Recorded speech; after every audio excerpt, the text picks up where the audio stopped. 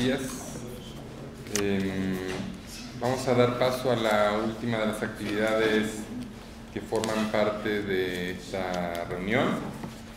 Eh, es difícil imaginar una, actividad más, eh, más pertinente que la, la, charla que Sandra nos va a dar hoy para reflexionar en torno al 8 de marzo ¿no? y el Día de la Mujer y los usos del Día de, la Mujer para diversas, eh, para diversas causas. Eh, este, es, un, orgullo para los organizadores, para mí a título personal, la posibilidad de contar con, esta conferencia de, eh, Sandra. este, mencionaré algunos de sus, de sus antecedentes. Este, Sandra trabaja hace ya mucho tiempo en, la Universidad de Texas, en, El Paso, donde enseña sobre historia, de, historia latinoamericana, historia de América del Sur, historia de mujeres, historia de las identidades judías, del antifascismo. Diría yo que, por lo menos este, en, estas, en estas últimas tres décadas, han sido dos las grandes... Eh, las grandes obsesiones temáticas de, Sandra, dos en apariencia opuestas.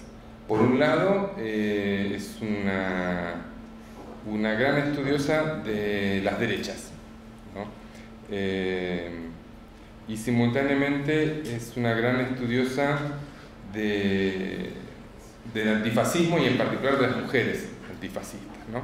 Es como si hubiese estudiado durante un tiempo el veneno y a posteriori las formas de, sanar. Eh, ahora, es interesante que ambos, ambos conjuntos temáticos están unidos por un puente y ese puente es el de la preocupación por cuánto la categoría de género, cuánto la construcción de identidades eh, según varones, mujeres, puede servirnos para entender efectivamente qué es lo que ocurrió antes. Entre los textos que forman parte del primer conjunto de, temas, eh, yo destaco en particular eh, el libro sobre la, Liga Patriótica Argentina, contra Revolución en Argentina, originalmente publicado en el 86 y varios años después por la Universidad de Quilmes en español sobre todo el libro Las derechas, sobre la derecha extrema en Argentina, Brasil y Chile en 1800, entre el 1890 y 1939, que también cuenta con una edición en, en español. El libro también publicado en español y en inglés, La derecha argentina, la compilación con Ronald Dorker. Y el libro compilado en 1912 con Kathleen Blee sobre las mujeres de derecha en, en diversas partes del, del planeta. En, el segundo grupo de preocupaciones temáticas, eh, el libro más importante me parece que es este, el dedicado a una historia de las mujeres judías que publicó Duke University Press en el 2010 y cuya aparición en español está prometida, pero aún no, no, concretada. Eh, dos líneas este, como para ofrecer alguna valoración sobre el trabajo de, Sandra y darle ya espacio a, sus palabras. Eh, creo yo que hay dos o tres grandes puntos por los cuales eh, merece, merece nuestro respeto eh, intelectual. El primero de ellos para mí es que de alguna manera Sandra contribuyó o incluso casi fundó una forma de estudiar a las derechas a través de una perspectiva no partisana. Esto es, la idea de que pueden ser estudiadas sin condenarlas a priori, pero asimismo sin asumir tampoco una perspectiva neutral. Esto es, se lo puede convertir en un objeto de historia. Puede ser analizado, pueden ser sometidos, pueden ser producidos estudios críticos, rigurosos, pero no partidizados. Y eso me parece que es un, un puntapié, un puntapié inicial. El segundo punto que yo destacaría es una apuesta sistemática que Sandra hace por la comparación, por la comparación entre casos nacionales, pero a su vez también entre casos que exceden a, América Latina, como en el caso del libro con, con Kathleen Blee, me parece que es para destacar ese esfuerzo, esa apuesta que realiza constantemente para saber qué es lo específico de cada, de cada uno de los casos y cuáles son aspectos generales. El tercer punto que yo destacaría es eh, un interés ya muy temprano por la cuestión de la circulación transnacional de los sujetos. Un interés por seguir a, estas criaturas que les interesan, llámense las mujeres de la Junta de la Victoria, llámense organizaciones antifascistas de Uruguay, llámense los integralistas brasileños, pero de seguirlos a ellos, de seguir los recorridos de sus ideas. Recuerdo un, texto que ya tiene más de 15 años sobre la los intentos de constituir una suerte de internacional nacionalista que vinculaba a diversas organizaciones de, extrema derecha. Y el último punto que yo destacaría tiene que ver con la promoción absolutamente fructífera de un diálogo entre la historia política y la perspectiva de género. Es decir, me parece que lo que el trabajo de Sandra muestra es eh, una apuesta por eh, servirse de los estudios de, género, de manera tal de tener mejores preguntas y mejores metodologías para conocer sobre el pasado. Hay una, incorporación activa, creativa y decisiva, no es un suplemento, ¿sí? no es un agregado sobre y había mujeres. No, está en el centro de la preocupación el problema de, de, cómo nos constituimos como varones y mujeres como heterosexuales y cuánto de eso influye en la manera en la cual se termina percibiendo. Entonces, diría yo que por esa serie de razones, Sandra ha contribuido de una manera decisiva a la manera en la cual hoy nosotros entendemos y pensamos el fascismo y el antifascismo, la activación política en nuestros países. Así que Sandra, bienvenida y muchas gracias. Muchas gracias a vos este, por tus lindas palabras y Agradezco mucho a Clara, a Ernesto, a David y el Colegio de México por haberme invitado. Es un gran honor para mí estar acá con ustedes. En 1928, la doctora argentina Ernestina Acevedo destacó positivamente el hecho de que las mujeres a lo largo del mundo estaban ganando derechos. Ocho años después, el doctor Badía Urrutia, de nacionalidad chilena, hizo un llamado a la, cito, liberación de, la mujer. Cualquiera imaginaría que Acevedo y Badía Urrutia estaban entre los progresistas que luchaban por los derechos femeninos, pero no es el caso.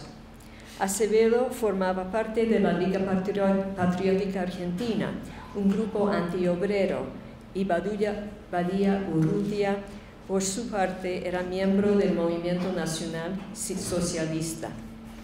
Uno se pregunta por qué los miembros de la extrema derecha tomaron en consideración la idea de liberar a las mujeres, lo que parece oponerse a, su deseo de preservar un sistema estratificado de clases y de género que enfatizaba más los, los deberes que los derechos. Me enfoco aquí en la liberación de las mujeres y yuxtapongo declaraciones y algunas prácticas de derechistas y progresistas en los años 20 y especialmente en los 30 con vistas a identificar conflictos, puntos de encuentro y desencuentro y paralelismos entre ambos sectores. El tema estaba entrelazado con otros asuntos, tales como la autonomía de las mujeres, la paz, la familia y el nacionalismo. Por estos motivos, los debates acerca de la emancipación de las mujeres sirven de marco para abarcar una comprensión más amplia de las izquierdas y las derechas del periodo de entreguerras. Estos individuos y movimiento de derecha se encuentran entre los miembros más radicales de lo que Arnold Mayer llamó la triada eh, anti, perdón, antirrevolucionaria de conservadores, reaccionarios y contrarrevolucionarios. Ellos fueron los contrarrevolucionarios y para los años 30 la mayoría eran fascistas. Los progresistas incluyen feministas, pacifistas, socialistas, comunistas y simpatizantes. La mayoría de las voces son de mujeres, pero también incluyo a las de algunos hombres de la extrema derecha. Mi trabajo se inscribe en el debate sobre la relación entre las derechas y las izquierdas. Como lo explica Enzo Traverso, cito, los extremos nunca llegan a tocarse, pero es posible que sus oposiciones procedan del mismo punto de origen.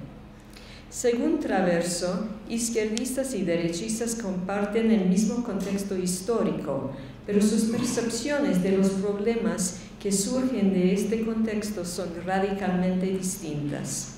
Según Verónica Valdivia, cito, entre izquierdas y derechas existe una interdependencia, pero no en una vinculación causa-efecto, es decir, como acción y reacción, sino como parte de un mismo proceso.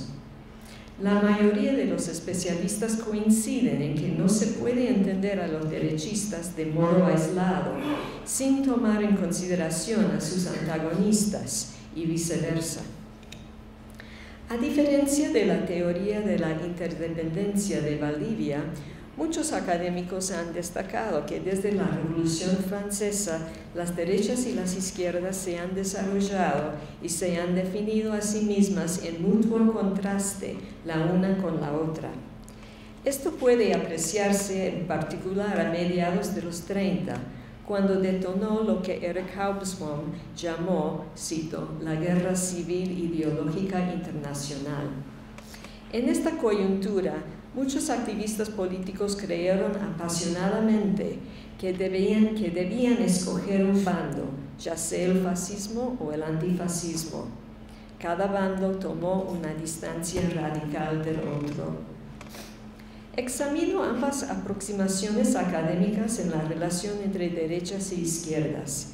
¿Acaso los progresistas y los contrarrevolucionarios emergieron del mismo proceso? ¿O quizá los contrarrevolucionarios crearon sus identidades y proyectos en reacción a los progresistas? Los derechistas radicales rechazaron completamente las nociones progresistas o adaptaron algunos de, aspectos de ellas encuentro evidencia de todas estas posibilidades. Comienzo mi análisis con dos movimientos latinoamericanos de los años posteriores a la Primera Guerra Mundial. La Acción Social Nacionalista Brasileña, la ASN, y la Liga Patriótica Argentina se opusieron a la, a la movilización obrera tras la revolución bolchevique, a la que se atribuyó a inmigrantes subversivos. Grupos pequeños de mujeres privilegiadas estuvieron activamente involucrados en la Liga y en la ASN. En aquel entonces, las socialistas comunistas y feministas habían comenzado a, organizarse en varios países latinoamericanos, pero existían muy pocos signos de resistencia femenina organizada contra grupos como la ASN o la Liga. Una combinación de fuerzas internas y, externas desencadenó el crecimiento tanto de las izquierdas como de la derecha radical en los años 30. El ascenso de la Alemania nazi funcionó como catalizador para ambos bandos a un nivel mayor de lo que había hecho la revolución bolchevique o el fascismo italiano. La guerra civil española fermentó el terreno tanto para el antifascismo como para el fascismo, obteniendo apoyo y reclutas de ambos grupos en Latinoamérica y en otros lugares. La desigualdad imperante y la crisis económica precipitaron el declive del liberalismo y cambios gubernamentales, algunos de los cuales abrieron nuevos espacios a la participación política. En la extrema derecha, las mujeres participaron en la acción integralista brasilera, el movimiento nacional socialista chileno, el nacionalismo argentino y en la Unión Nacional Sinarquista en México. Un gran número de mujeres se congregaron en el Frente Único Pro Derechos de la Mujer en México y el Movimiento Pro Emancipación de las Mujeres de Chile, ambos afiliados con el Frente Popular. Así la década del 30 fue clave para el desarrollo de las fuerzas progresistas y derechistas. En 1928, la, la, doctora Acevedo, miembro de la Liga Patriótica Argentina, discursó en el Congreso Anual de este grupo. Ahora que las mujeres ganaban derechos en todo el mundo, insistió, debían estar preparadas para utilizarlos de modo efectivo. Debían aprender a pensar por sí mismas, a equilibrar la bondad con la, razón y promover amor y respeto mutuo por sobre el odio en la sociedad. Debemos enseñarles a las mujeres a exigir sus derechos, cito, no como adversaria del hombre, sino como aliada en la obra que ha de mejorar la suerte de la especie. Acevedo había contactado a la doctora Elvira Rawson, una líder liberal feminista. En enero de 1919, más o menos al mismo tiempo que la Semana Trágica en Buenos Aires, Rawson pronunció un manifiesto reclamando, cito, la dignificación social de la mujer y la conquista gradual de los derechos civiles, políticos y económicos que ejercita el hombre. Se distanció de toda forma de fanatismos y credos políticos. Rawson exhortó a mujeres conscientes e informadas de un estatus aparentemente privilegiado a generar conciencia entre las mujeres de clases populares y, cito, confortar el espíritu ansioso de paz que actualmente ignora orientaciones. Aceptaba, cito, la sagrada misión de esposa y madre de, la mujer. Acevedo le escribió a Rawson para sumarse a su iniciativa, declarando que, cito, es tiempo ya de que la mujer ocupe en la sociedad el papel que le corresponde, por cuanto la vida exclusivamente de hogar no satisface las aspiraciones femeninas del presente. Evidentemente, Acevedo estuvo de acuerdo con la moderación de Rawson, con su rechazo de los fanatismos y su deseo de armonía con las clases más humildes.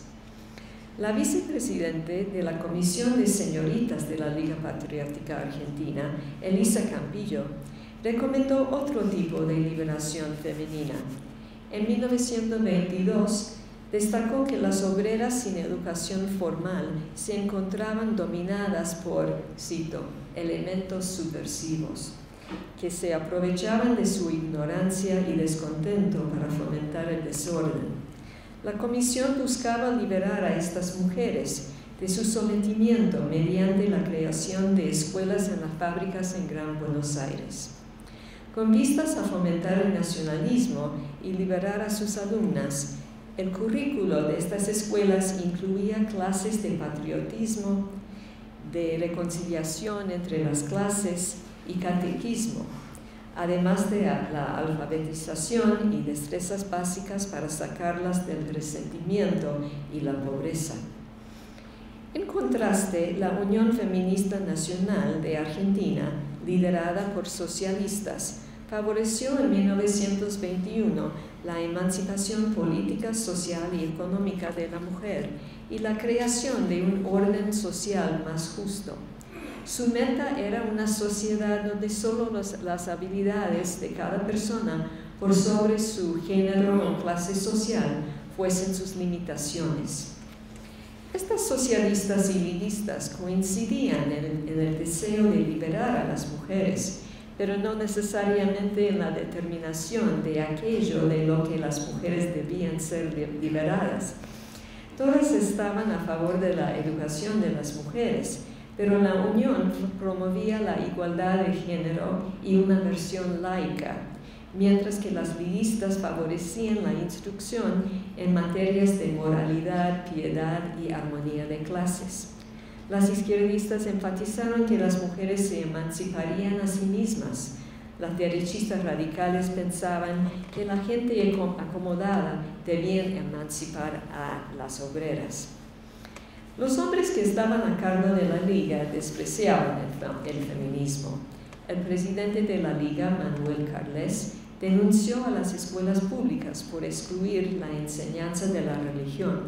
En su opinión, la falta de religión estimulaba el feminismo, el que definió como la lucha contra los hombres para feminizarlos y para masculinizar a las mujeres.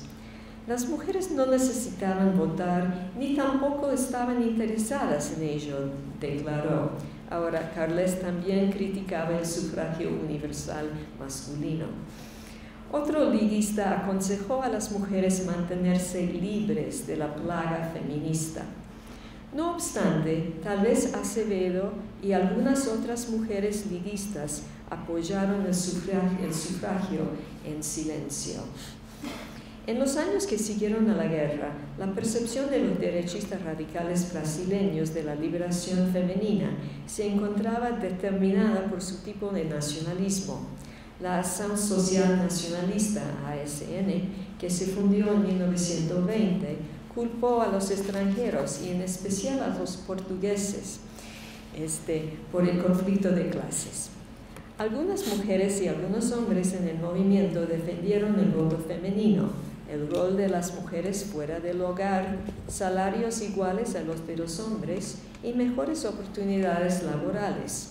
Sin embargo, los líderes varones querían mejorar el estatus de las mujeres con vistas a integrarlas en la campaña para convertir a Brasil a una nación independiente. Álvaro Bomilcar, por ejemplo, esperaba que las mujeres reemplazaran a los hombres en la burocracia gubernamental para permitir que los hombres se enfocaran en ganar el control de la industria y el comercio de las manos de los portugueses y otros extranjeros. La emancipación de las mujeres se encontraba entrelazada con la emancipación nacional y este segundo objetivo eclipsó al primero. María Junqueira Schmidt una directora de escuela, activista católica y miembro de la ASN, aceptó la incorporación de las mujeres a la fuerza laboral, a la educación superior y a la administración pública. Aunque a su vez las mujeres eran primordialmente amas de casa, apoyaba al principal grupo feminista brasileño, la Federación Brasilera para el Progreso Femenino, fundada en 1922. El carácter mesurado y burgués de la federación le permitió ganar apoyo para los derechos de las mujeres entre la élite y la ASN. Schmidt y Acevedo extendieron su mano a las feministas, incluso si solo a medio camino para las centristas. Aún así, este espíritu no, no, caracterizaba a toda la Liga o a la ASN, ni tampoco duró mucho tiempo. Algunas integrantes de la Liga y de la ASN establecieron una relación entre lo que percibieron como su misión de paz y armonía social con la liberación femenina. En los años 30, al menos un miembro de la Ação Integralista Brasilera lo hizo también. Según la integralista o blusa verde, Nilsa Pérez, había comenzado una guerra global entre los comunistas y los nacionalistas. Escribiendo en 1937, denunció al Comintern por intentar destruir a la familia al sacar a las mujeres de sus casas y fomentar el feminismo. Separar a la gente por su sexo cuando ya se encontraba dividida políticamente debilitaría aún más a Brasil y se lo entregaría al comunismo.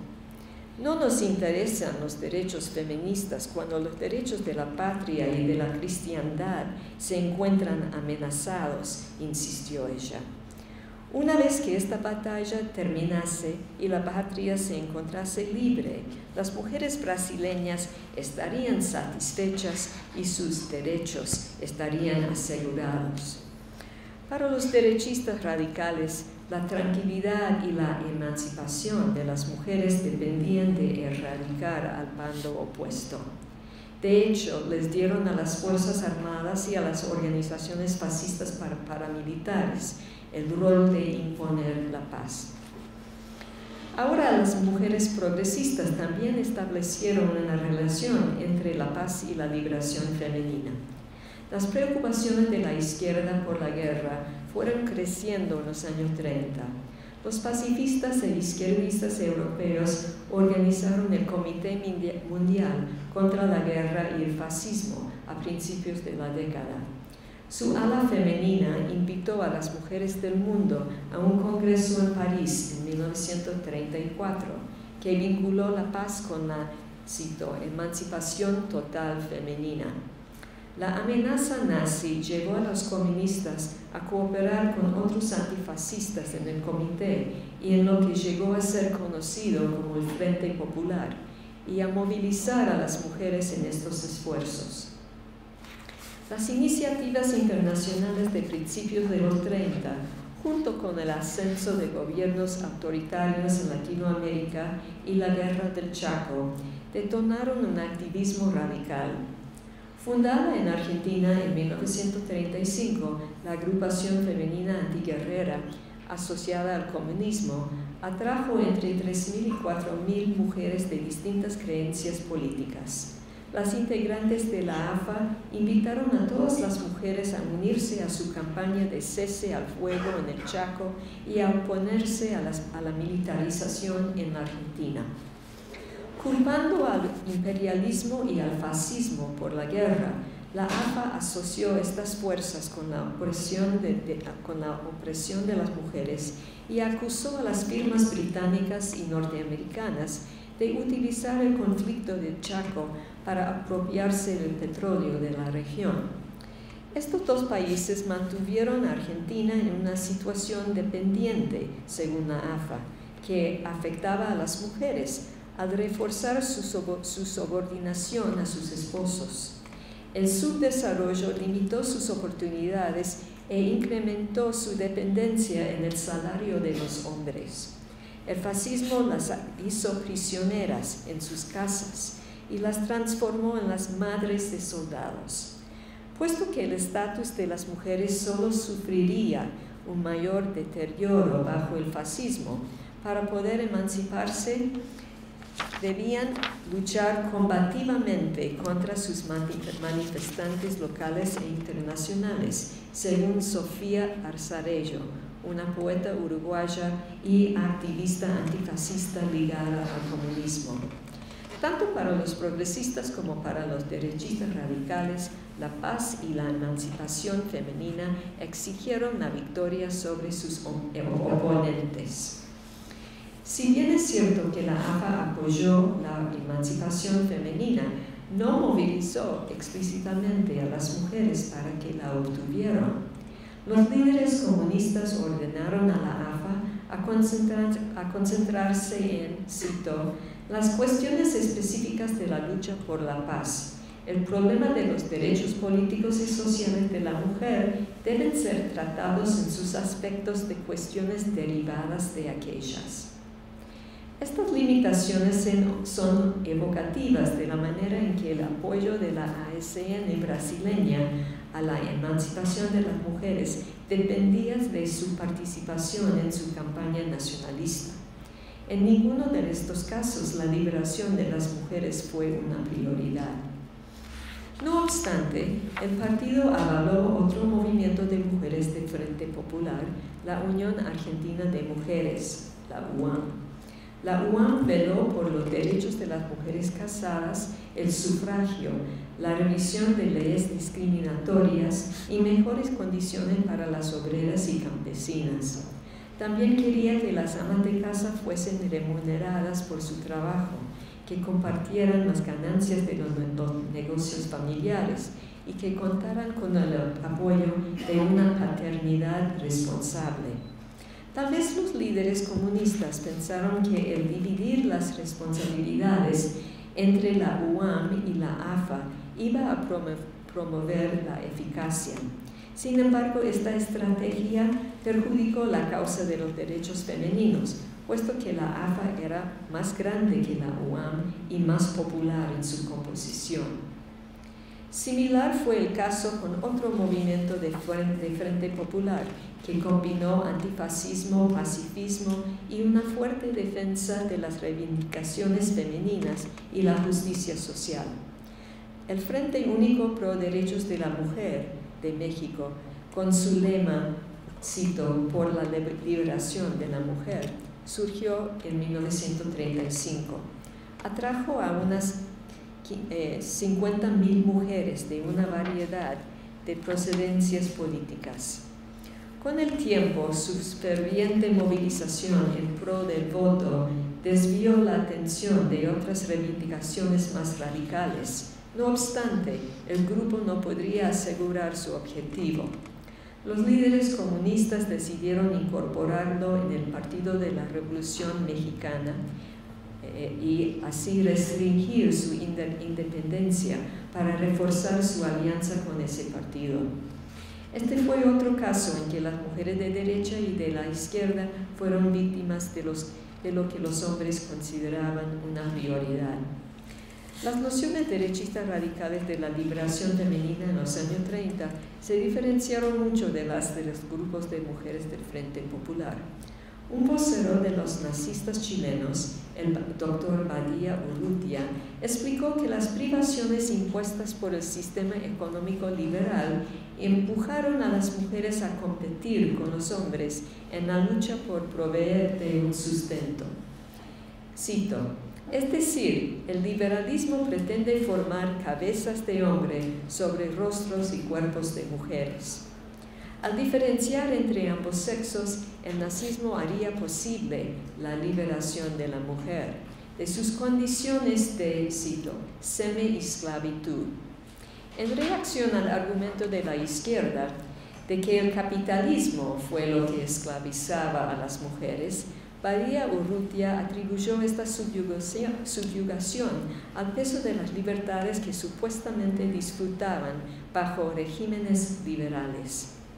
Los nazistas emanciparían a las mujeres al establecer la cooperación entre ricos y pobres y al instruir a los hombres en el cumplimiento de sus obligaciones que les permitiría a las mujeres ser madres de verdad.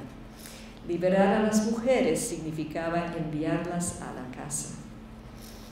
La derecha radical también culpó al comunismo, por supuesto. Según los integralistas, las feministas, obedeciendo órdenes comunistas, masculinizaron a las mujeres al fomentar su pelea con los hombres, al incentivar que utilizaran vestimentas masculinas y a que realizaran trabajos inapropiados. Como sostuvo Nilsa Pérez, al erradicar la propiedad privada, los comunistas destruyeron familias, forzándolas a vivir en el mismo edificio en, cito, la más repugnante y odiosa de las promiscuidades. Puesto que la Unión Soviética permitía el divorcio, el casamiento equivalía a la, cito, prostitución oficial, que dejaba a las mujeres sin ningún tipo de protección. Los comunistas veían a las mujeres como cuerpos sexualizados y animales reproductivos.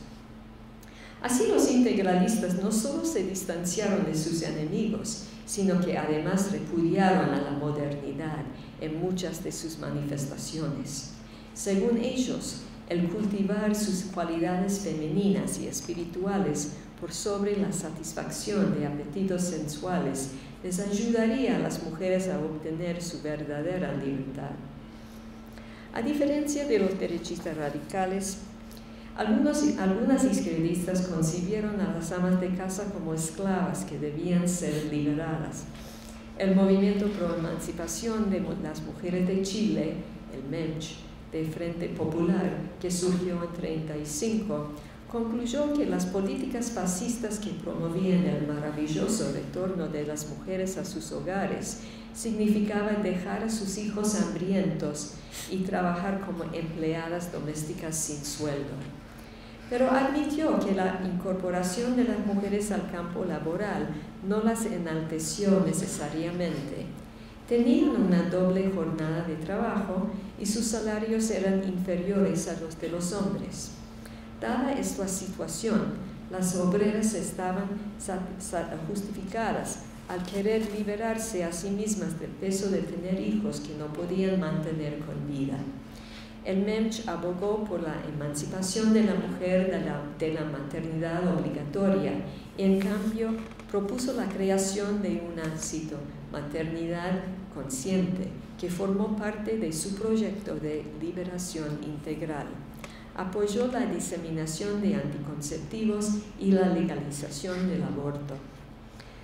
Los fascistas objetaron estos medios de prevención de la, de, la reproducción, a la cual consideraban el deber sagrado de la mujer. También declararon que la Unión Soviética les, les estaba quitando el derecho a los padres a cuidar de su descendencia, despojando al matrimonio de su significado más alto y ofendiendo la dignidad femenina. El integralista Belisario Pena hizo notar que bajo el comunismo las mujeres eran meras, cito, vacas lecheras, produciendo leche para los niños que pertenecían al Estado. A Ofensiva, el periódico eh, integralista, colocó fotografías explícitas de mujeres italianas amamantando a sus bebés junto a imágenes de mujeres rusas dando mamaderas a los nenes. El periódico integralista afirmó que el gobierno soviético quitaba a los hijos de, sus madres, a quienes obligaba a dejar leche para criaturas que no eran suyas, declaraciones que eran totalmente equivocadas. Insistió en que estas fotografías eran prueba de que el comunismo convertía a las mujeres en, cito, máquinas de fabricar esclavos para el soviet. De hecho, muchos izquierdistas, así como derechistas, apoyaron los roles maternales femeninos y denunciaron al otro bando por incapacitarlos. Los miembros de la AFA y otras progresistas declararon que los regímenes alemanes e italianos convirtieron a las mujeres en máquinas de tener bebés que iban a ser carne de cañón. La médica uruguaya Paulina Luisi destacó que estos regímenes se hacían cargo de los niños y los adoctrinaban en el militarismo. De esta manera el fascismo apoyó la misión de las madres, eh, perdón, de las mujeres, al obstruir su habilidad de criar a su descendencia, inculcarles sus valores y mantenerlos con vida.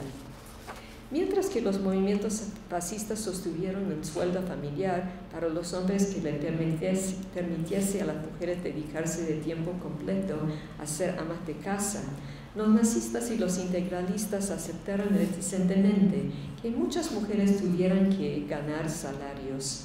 Bajo estas circunstancias, la AIP favoreció salarios igualitarios para hombres y mujeres. Aparentemente no haría falta el trabajo femenino remunerado cuando los integralistas tomaran el poder, porque implantarían la justicia social. Al mismo tiempo, no descartaron la posibilidad de que las mujeres integraran diversas ocupaciones en un régimen integralista futuro, en la medida en que fuesen capaces de atender a sus deberes en el hogar aunque la maternidad seguiría, siendo una prioridad, esto era una perspectiva más positiva de las mujeres profesionales que la que tenían los demás movimientos contrarrevolucionarios latinoamericanos. Los derechistas radicales insistieron en que la Iglesia Católica había liberado a las mujeres y mejorado su estatus puesto que a sus ojos hombres y mujeres eran iguales y compartían el mismo objetivo espiritual. No obstante, como hizo notar Margarita Corbissier, una destacada blusa verde, hombres y mujeres tenían funciones, atributos y psicologías distintas. Ella se opuso a las teorías masculinistas que denigraban a las mujeres y los conceptos feministas que negaban las diferencias existentes entre hombres y mujeres. No hay ninguna indicación de que leía textos feministas, algunos de los cuales de hecho aceptaban la diferencia de género. Otra vocera opinó que los esposos merecían más derechos que las esposas porque tenían más obligaciones y esto establecía orden en la familia. A pesar de estas contradicciones y desacuerdos acerca de la liberación de las mujeres, los integralistas fueron los más visionarios de los fascistas latinoamericanos. Las blusas verdes que trabajaban fuera del hogar aparecieron en la prensa integralista, tales como Rosa Magda Linz Albuquerque, oficial de la División de Mujeres y Jóvenes y empleada de la compañía de teléfonos proclamó que las mujeres debían acabar con su sumisión y adquirir un sentido de valor propio y autonomía. Es entendible por qué algunos brasileños podían haber visto a las blusas verdes como, feminista, como feministas, o al menos eso declaró Nilsa Pérez, a pesar de que negaran serlo. De hecho, voceros describieron las ideas de la AIB como, cito, un feminismo racional o un feminismo verdadero cristiano, cristiano y brasileño. El integralismo hábilmente apropió y adaptó la jerga feminista a sus propósitos, mientras que mitigaba las preocupaciones tradicionalistas. Habiendo ganado el voto para las mujeres alfabetizadas, el feminismo en Brasil había progresado más que en otros países latinoamericanos con movimientos fascistas importantes. Con su pretensión de ser, de ser moderno y revolucionario, el integralismo debía reconocer al feminismo. Mientras los fascistas se oponían teóricamente a las elecciones, los integralistas y nazistas presentaron candidatos para difundir su mensaje y ganar seguidores. El hecho de que algunas brasileñas pudiesen votar a todos los niveles, a diferencia de Argentina, México y Chile, las transformó en un electorado más importante para los integralistas que para los grupos fascistas en otros países. Los integralistas insertaron a las mujeres en roles nuevos y esto representó una especie de liberación las mujeres difundieron la doctrina de la AIB en cursos de alfabetización y dieron discursos a ambos sexos. A diferencia de sus pares, los integralistas auspiciaron congresos femeninos. Las blusas verdes, algunas de las cuales ya habían postulado y ganado en las elecciones, fueron claves en, los esfuerzos de la AIB por crear un partido masivo durante la campaña para las elecciones de 38. La AIB las exhortó a registrarse y votar y les pidió que a su vez instruyeran y registraran al menos a un hombre o una mujer. De ser necesario, las blusas verdes les enseñarían a los, analfabetos en sus propias casas y así sus hogares se transformarían en centros electorales. Las madres progresistas también remodelaron sus hogares para representar sus creencias políticas. Durante la Guerra Civil Española, el Comité Argentino de Mujeres Pro Huérfanos Españoles, vinculado al comunismo, confeccionó ropa para niños españoles, cosiendo y tejiendo en las mesas de sus cocinas para la República Progresista Española, que había incorporado a mujeres en el sistema político. Las madres, de este modo, ejemplificaron las ideas emancipadoras para con sus familias. De la misma manera que las blusas verdes convirtieron sus casas en centros electorales, los miembros del, del comité transformaron las suyas en centros antifascistas. Algunas militantes derechistas parecían abrigar ideas más amplias de la liberación femenina de las que sus camaradas varones. Una blusa verde declaró que tanto ella como sus pares eran mujeres modernas, que estudiaban, trabajaban e iban a las calles a defender con valor varonil sus identidades e ideas. Marchaban junto a los nombres, al, perdón, marchaban junto a los hombres, con los cuales ella insistió compartían los mismos derechos y posibilidades. Abrazando incluso más la modernidad, la nacionalista Isabel Jiménez, nacionalista argentina, hizo público su apoyo del sufragio para las mujeres alfabetizadas nacidas en Argentina. Sus ideas se acercaron a las del grupo moderado feminista, la Asociación Argentina del Sufragio Femenino. Acusando a los inmigrantes comunistas por enseñarles a sus hijos a odiar la nación, Jiménez se opuso a darle el voto a las mujeres naturalizadas, mientras que la asociación lo favoreció para aquellas que habían residido en Argentina por muchos años.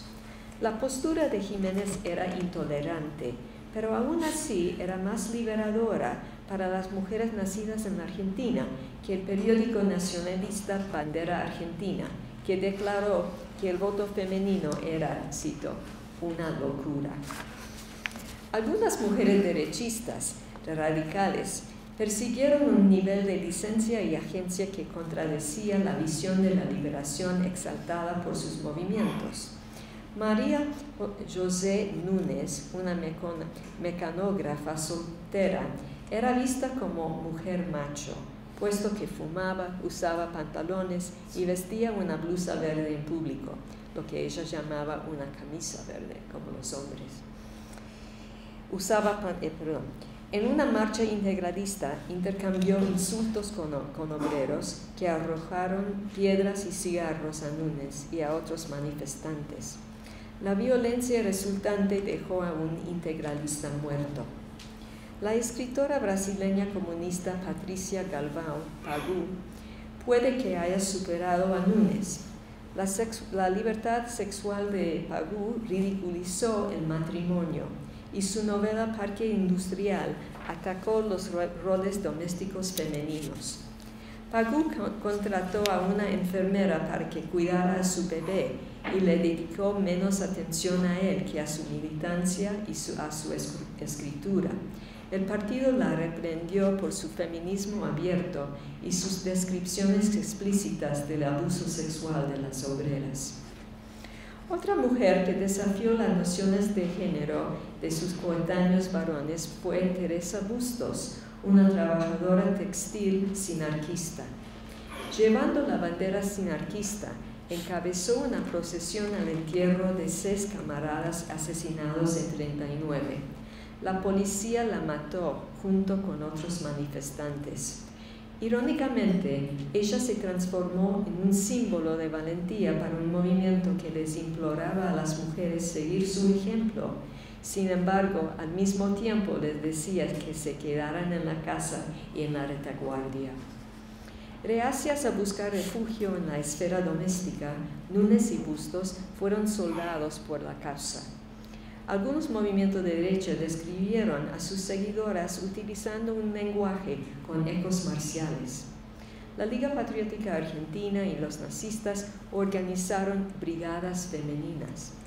Iveta Ribeiro, directora de la revista femenina de la AIB, le aconsejaba a la mujer integralista, cito, honrar y dignificar tu blusa verde en las horas de combates morales por la victoria del integralismo, con el mismo ardor con que los soldados honran y dignifican el uniforme en los combates rudos en defensa de la patria. Pero al retratar a las mujeres como soldados, amenazaba socavar los constructos maternales también corría el riesgo de sugerir que las mujeres eran ciudadanas y por lo tanto merecían votar, dado que por lo general la ciudadanía y el sufragio se basaban en el servicio militar. Uno podría interpretar esto como un mensaje liberador, aunque tal vez no intencional, consistente con la naturaleza contradictoria de la contrarrevolución. Conclusión. Los conflictos y desencuentros entre contrarrevolucionarios y progresistas fueron muchos. Los primeros, en particular los hombres, creyendo tanto en la jerarquía de género como en la jerarquía de clase, tendían a ver la emancipación de las mujeres como un proceso facilitado por las clases altas. La mayoría de las progresistas pensaron que las mujeres debían emanciparse a sí mismas. Por momentos, los de la extrema derecha utilizaron los mismos términos que los progresistas, pero los interpretaron de modo distinto, o bien su acuerdo aparente con ciertas ideas progresistas parecía superficial. En los años 30, para la mayoría de los fascistas, liberar a las mujeres significaba enviarlas a casa. En cambio, las feministas promovieron una liberación amplia que les, permitía, les permitiría disfrutar de los mismos derechos y oportunidades de los hombres. Asociando la paz a la liberación femenina, para la derecha la paz significaba la ausencia de conflicto de clases y una sociedad estratificada. Para las mujeres de izquierda significaba el fin del militarismo y de la opresión de clase y de género. Ambos reconocieron las tensiones entre parejas en hogares empobrecidos, mientras que las progresistas mitigarían estas condiciones al restringir la dominación masculina y la explotación capitalista los de la derecha radical instarían a los hombres a llevar a cabo sus deberes y estimularían la cooperación entre clases. Los progresistas y contrarrevolucionarios establecieron algunos paralelismos. Ambos pensaban que el otro bando necesitaba ser derrocado para obtener la paz y la liberación femenina. Ambos politizaron sus, hogares y acusaron al otro de, destruir la misión de las mujeres al convertirlas en máquinas de producir bebés. Los hombres en la derecha y en la izquierda, izquierda solían ver los problemas de las mujeres como prioridades menores. De hecho, a lo largo de todo el espectro ideológico, las mujeres carecían de autonomía, en particular aquellas de la extrema derecha. Los hombres de la izquierda y la extrema derecha, salvo los integralistas hasta cierto punto, subestimaron la participación femenina. Pero las progresistas establecieron sus propias publicaciones periódicas. En la extrema derecha, solo las blusas verdes parecieron tener una. Otro paralelismo fue la variedad de perspectivas sobre la liberación de la mujer dentro de las filas del progresismo y derechismo. Nos sorprende que hombres de diversas proveniencias políticas poseyeran, nociones más restringidas que las de sus camaradas mujeres. No obstante, un número de mujeres fascistas discrepó entre ellas mismas. En general, los progresistas fueron más consistentes que sus adversarios. Con todo, esta diferencia también refleja una tendencia general entre los contrarrevolucionarios, su estilo ambiguo y cambiante que les permitía aparecer a veces como retrógrados y a veces como visionarios, aumentando de esta manera su atractivo. La AIB es un buen ejemplo. También hubo puntos de encuentro entre miembros de bandos opuestos. Por ejemplo, los contrarrevolucionarios, especialmente en los años 30, enfatizaron la diferencia de género y también lo hicieron muchas feministas e izquierdistas. Las mujeres progresistas y algunas personas de extrema derecha, especialmente en Brasil, aparentemente podían estar de acuerdo respecto a la necesidad del voto, la educación, el trabajo fuera de la casa, la igualdad de oportunidades y salarios. Ambos lados reconocieron la injusticia económica y la Unión Argentina de Mujeres y Nazistas promovieron la paternidad responsable. En los años 30, eh, perdón, 20, la doctora Ernestina Acevedo y María Junqueira Schmidt estuvieron de acuerdo con un feminismo moderado. No obstante, Acevedo y Schmidt parecen ser casos únicos. No pude encontrar ninguna evidencia de que en los años 30 los fascistas hayan leído declaraciones feministas o progresistas, y mucho menos de que hayan contactado a sus autores. Las líneas ideológicas se habían endurecido. En cambio, los contrarrevolucionarios se refirieron a fuerzas amorfas y conspiradoras que a su parecer se habían aliado para destruir la noción burguesa de feminidad, familia, propiedad y patria. Los hombres y mujeres contrarrevolucionarios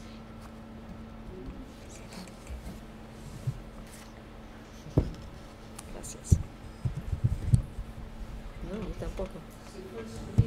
Bueno, este.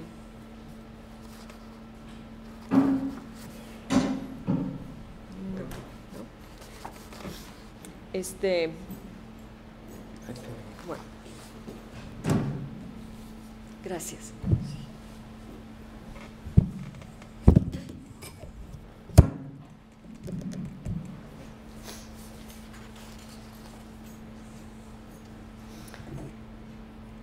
Este, y salarios. Ambos lados, ah, perdón, ok.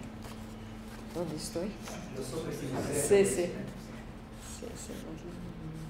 Los hombres y mujeres contrarrevolucionarios demonizaron a los progresistas y torcieron sus ideas. Al mismo tiempo, adaptaron algunas de estas nociones y frases, es decir, se definieron a sí mismos en relación a sus enemigos.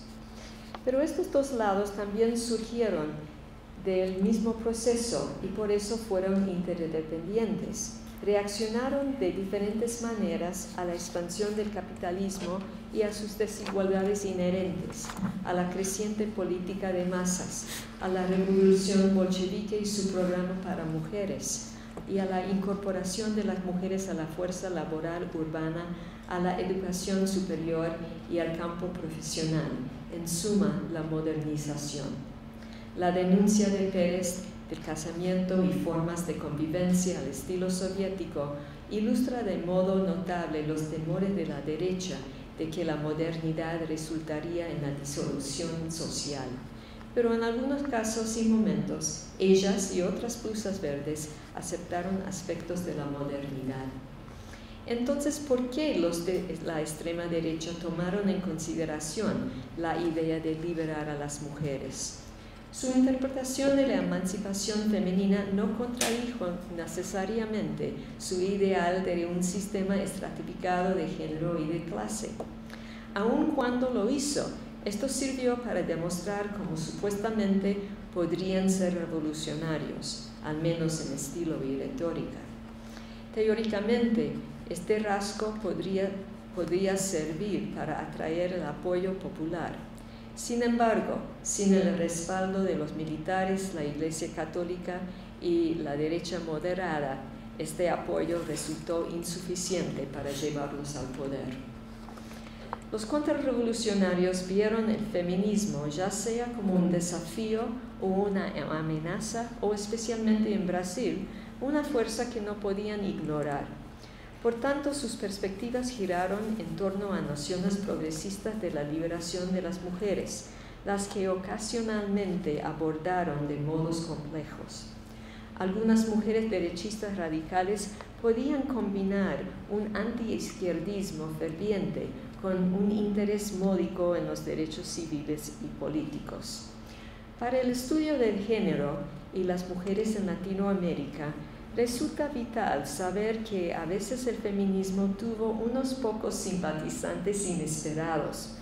También es necesario para los que estudiamos las derechas latinoamericanas comprender de qué manera cuestiones de mujeres y de género se entrecruzan con asuntos de gran importancia para estos movimientos. Muchas gracias.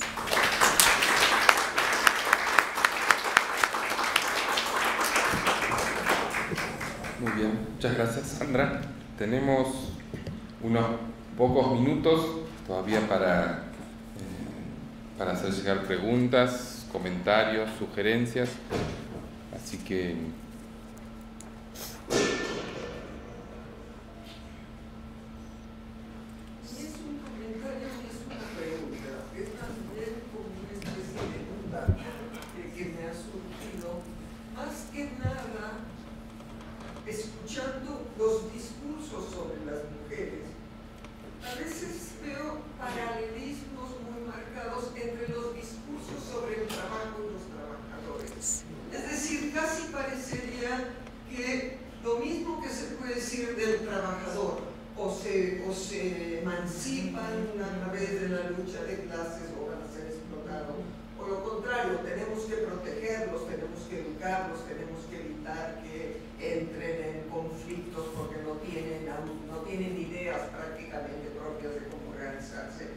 puede ser un peligro además que se organicen, hay una, una cierta como, como, si, como discursos especulativos o, discursos que no son muy imaginativos respecto de unos y de otros en distintos momentos. ¿no? esa es una primera cosa que, que veo como, en fin, siento como curiosa. Y además, no solo para, los años 20, para todo el periodo que tratas.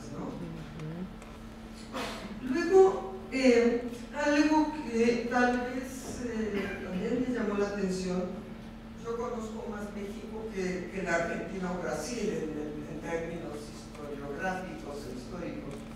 Eh, y espero que mis colegas mexicanistas y mexicanos me corrijan.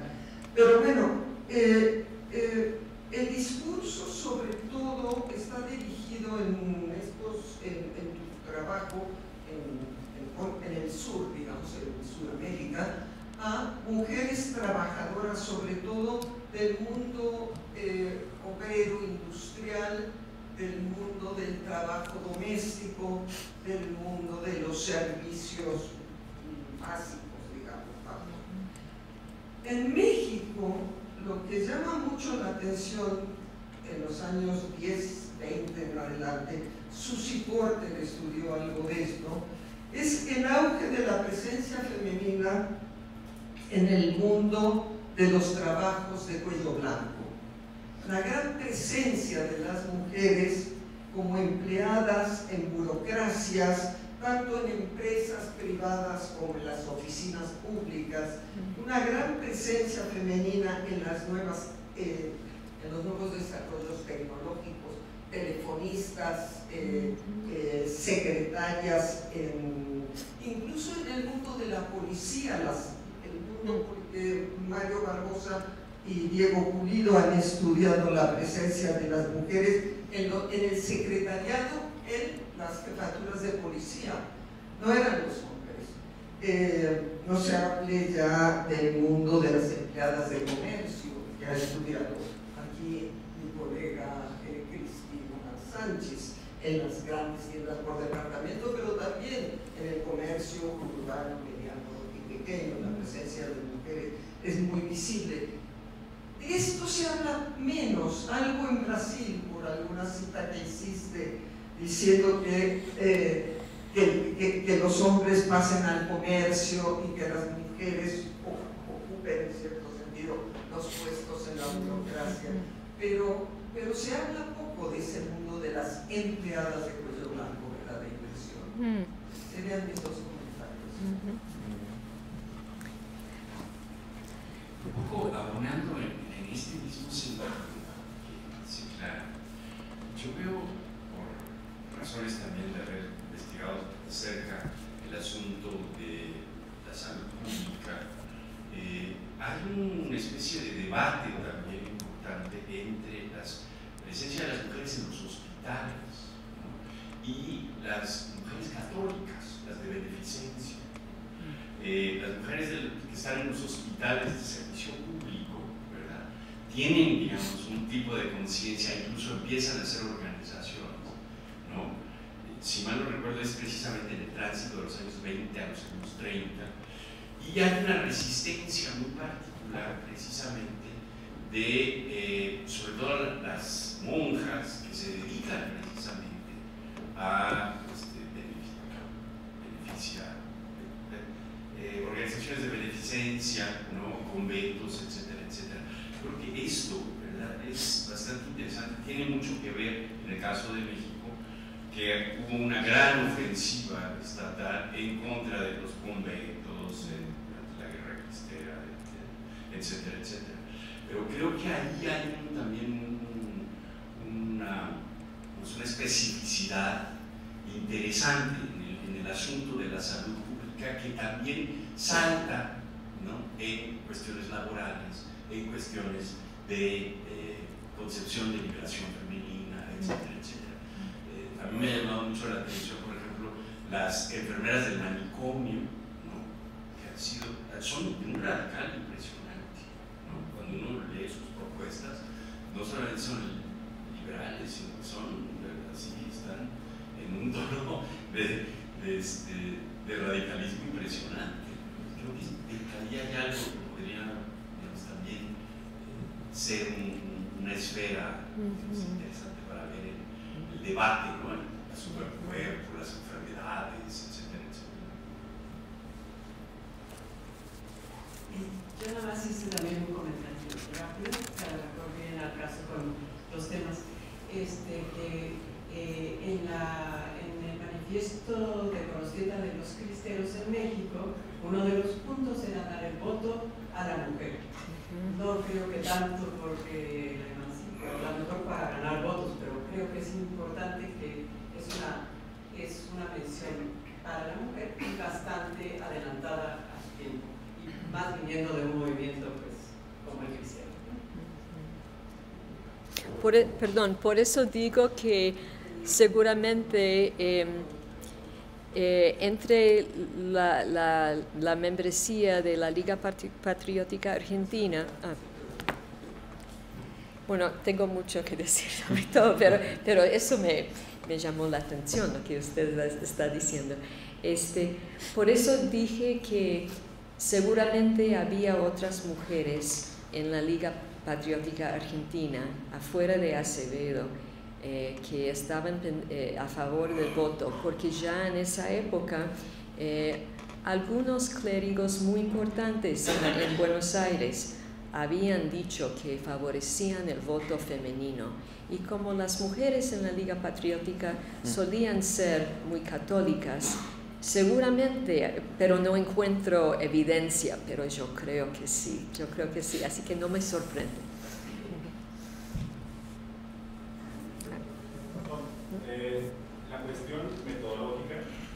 Eh, me gustaría eh, abordar un poco el por qué tomar esa decisión de entrar a los temas sin, digamos, sin cuestionar, bueno, no sin condenar los regímenes eh, dictatoriales en este caso. Perdón, ¿los regímenes cuál? Dictatoriales. Ah. Ah, porque yo estudio movimientos. No, pero, perdón. Ah, perdón. Oh, ok, después. ¿Alguien más? Eh, yo tengo una pregunta es, eh, sobre la variable de clase. Me preguntaba este, si la tenemos en cuenta, eh, cómo tener en cuenta la posición de clase de estas mujeres feministas de uno u otro lado. implicaría ver más matices o puntos en común y pues ahí como marca la, la interpretación de, la, de, la, de esa relación entre derechas e izquierdas, porque pensaba que, por ejemplo, cuando nos hablaba de eh, cómo eh, hablaban cada uno eh, a su manera del tema de la educación de las mujeres obreras, este, cada una tenía como unos matices, uno más este, procurando la armonía de clases, otros más este, pues, procurando lo contrario. Pero en la práctica ya cuando se acercaban al mundo social, probablemente eh, tanto unas como otras eran mujeres, probablemente de clases altas o de clases medias, que este, digamos la manera en que se relacionaban con, con las obreras, no sé, era, diferente. Es que yo ahorita estoy estudiando un poco el caso de Cuba, pero desde el lado de las, de las mujeres obreras, y lo que he visto de su relación con las feministas es que este, eh, las feministas fueran de izquierda o fueran este, de derecha, apelaban a la, a, la cuestión de las obreras como una forma de legitimar su posición política, pero en la práctica ellas se asumían como la vanguardia del cambio social, no empoderando propiamente a las obreras. Esa era mi pregunta. No sé si entiendo la pregunta. La pregunta por las tensiones de clase entre mujeres si no hay una parte que intenta patronizar a, otras. Yo agregaría unas últimas cuestiones en línea con una cosa que colocaba eh, Clara, que es que muchos de los argumentos en torno a por qué no darle el voto a las mujeres, por qué no reconocerle los riesgos asociados, es una cantinela muy parecida a la que hubo en otros lugares acerca de por qué no darle voto a los eh, no alfabetizados o a los que no tienen cierto nivel de ingreso, no tienen propiedad. ¿no? Y me acordaba del libro de, Albert Hirschman ¿no? sobre las retóricas de la intransigencia, esos, los, los ciclos de, negación sobre la apertura de nuevos, nuevos derechos, ¿no? ver cuánto, cuánto tiene, de, cuánto tiene de, vino viejo en odre nuevo y cuánto tiene de, novedad de las impugnaciones sobre el, sobre el particular. Y la, la otra cuestión tiene que ver con algo vinculado con una cosa que decía Marco Palacios en su comentario antes, que es encontrar las, las diferencias entre la, los elementos ideológicos que se publican, que salen en folletos, en diarios, en principios, y las prácticas políticas. ¿no? Yo entiendo que tengo una sospecha de que hay una parte importante de las mujeres progresistas eh, que estaban a favor de, de, que las mujeres tuvieran el derecho a votar, que eran plenamente conscientes de que ese era un principio teórico e ideológico válido, pero cuyas consecuencias serían políticamente negativas. Es decir, claramente sería votado el arzobispo de México como presidente. Es decir, el otorgamiento del derecho a voto implicaría un incremento de, eh, de la votación más hacia la derecha, ¿no? Este, por razones que son más, más, más, complejas que el hecho de ir a misa los domingos y escuchar al padre, ¿no? Pero digo, si no había también ese juego entre principios de validez universal, pero unas prácticas que obligaban a posponer la ejecución de esos principios hasta, hasta encontrar la maduración, que era también otro argumento utilizado para no darle el voto a los más, a los más pobres. Quería responder primero a, Clara. Este, justamente es así, que hay un paralelismo increíble entre, eh, muy notable, entre lo que, los discursos sobre los obreros y los discursos sobre las mujeres. Y no es una, no es una coincidencia, ¿no? Es porque como bien lo dijo John Scott, eh, la, la, familia bien ordenada simboliza el Estado bien ordenado, ¿no? Entonces uno es símbolo del otro, de la estructura social de, de, de, cualquier lugar. Eh, y justamente cuando usted estaba hablando pensé también en la cuestión del voto, también en, decir, que, por ejemplo, cuando, cuando las... Eh, la integralista, los integralistas dijeron que eh, las, las mujeres, los, los, comunistas veían a las mujeres como bestializados. Y bueno, tantos discursos, discursos que había sobre los trabajadores que, que los pintaban como, como bestias, ¿no? Así que hay muchos paralelos, muchos, y sería tema, creo, casi de otro artículo, ¿no? Pero muy interesante.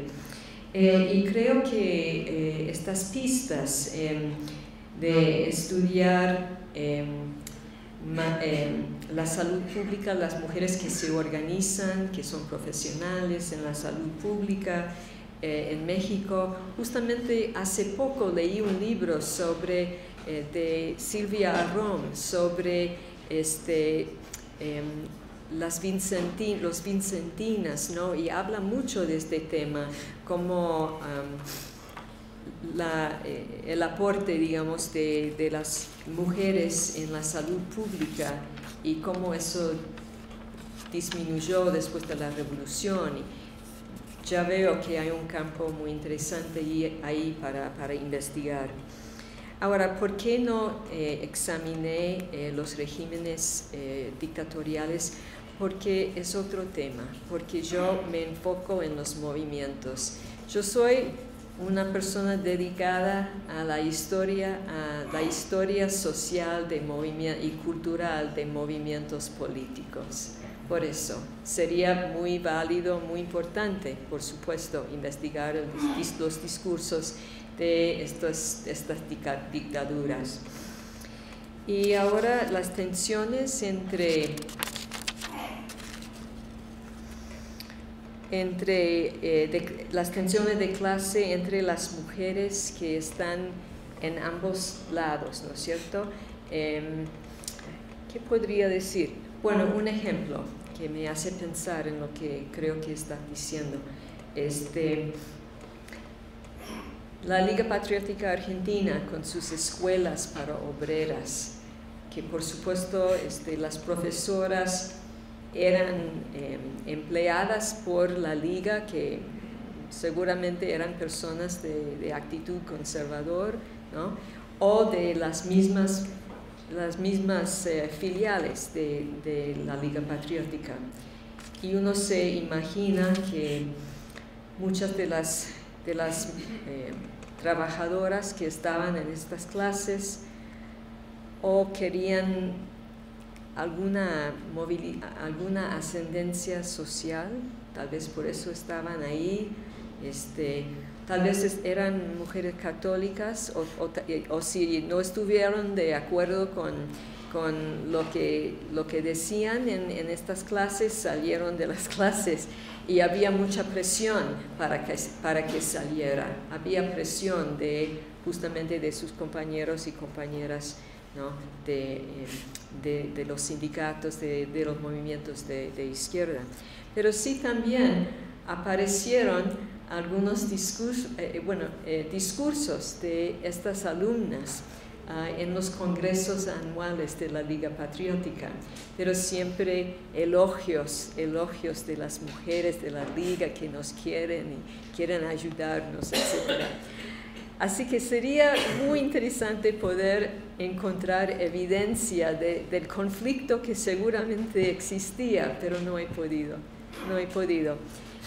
Em, sí he visto muchas críticas de, la Liga Patriótica en eh, los diarios socialistas de la época, pero casi nunca se refieren a, las escuelas o a las trabajadoras que se, encontraran, eh, se encontraron en estas clases o, o, solamente refirieron, si refirieron a, a, las mujeres de la liga, decían, ah, Manuel Carles no puede encontrar adeptos entre los hombres, tiene que ir a las mujeres así que no encontré mucho, pero es interesante la pregunta. Bueno, muchísimas gracias por los comentarios, fue un honor hablar con ustedes, gracias.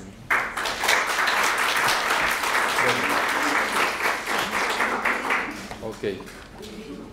Em, bueno, con, con esta damos por terminadas las actividades formales del, del coloquio. Queremos agradecer de nuevo al colegio por habernos alojado estos dos días, a los expositores, a los comentaristas, a las personas que moderaron las mesas, a la propia Sandra, al público en general por habernos acompañado. Soy de la idea de que ha sido una actividad este, excelente en varios de los sentidos que podamos darle a, ese, a ese término, así que muchísimas gracias, los esperamos ahora para un brindis. Para Fernanda Lavín